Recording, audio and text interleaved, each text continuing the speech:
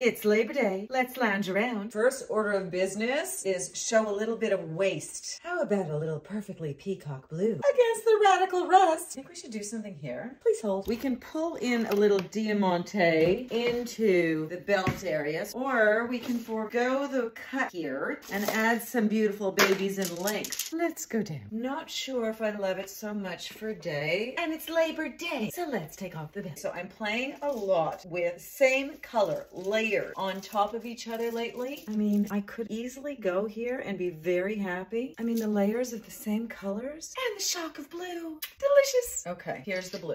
Let's take a gander. You know why the blue is better? Because the shirt is V-neck and this baby can be adjusted to go down into the V. Let's add a little art and a little turquoise explanation point. You want to know the best part about this whole look? After brunch, I can come back home, take off my beads, and go to bed. Have a good Labor Day.